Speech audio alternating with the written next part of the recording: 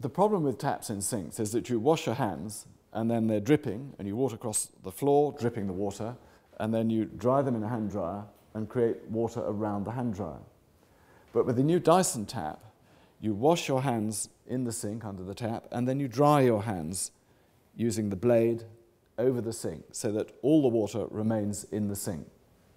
So this is how it works. Underneath the sink, we have the new Dyson motor, high speed, high pressure motor. But the air comes in at the bottom and goes through a HEPA filter, and the air goes up through the tap. That's the water going up through the tap, and the air goes outside it. And then it goes along, and the tap is under here, so the water delivery is here.